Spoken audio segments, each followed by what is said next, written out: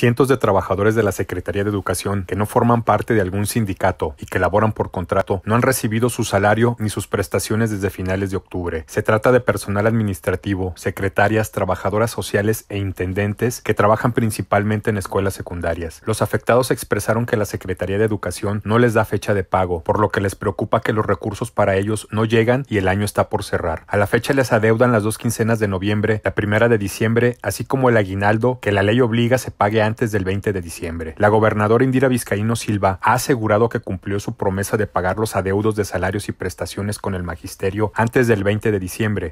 La educación es una prioridad y las y los maestros son un pilar de nuestro gobierno. Y desde aquí les decimos que pueden contar con nosotros, con las y los integrantes de esta administración, como personas aliadas. Siempre velaremos por salvaguardar la justicia laboral y la mejora de las condiciones de trabajo para este gremio tan importante.